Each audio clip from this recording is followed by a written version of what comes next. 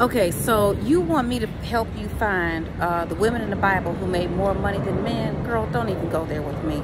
First of all, the women in the Bible didn't work sometimes. And I know that the Proverbs 31 woman had nine jobs and all that kind of stuff. But as I said in my video, back in the day, women did not have the same rights that men did. And so today, in 2021 in America and across the globe, women are presidents and doctors and lawyers and engineers and chief executive officers. We are running countries. We are running planets, it seems like, okay? So today in 2021 in America, if you want to be in a happy, healthy relationship uh, with a man and you are a woman who makes more than most of the men that you meet, then you're going to have to figure it out.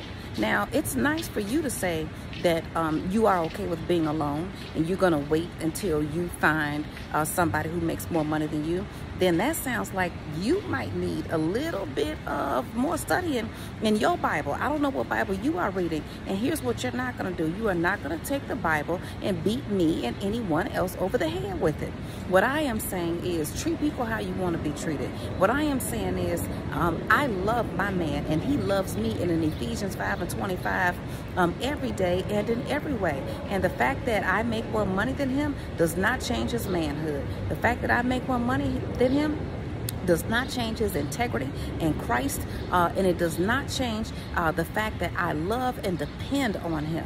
That's what I'm talking about. And I am not going to let the amount of money that he makes or the amount of money that I make interrupt my happiness and my freedom.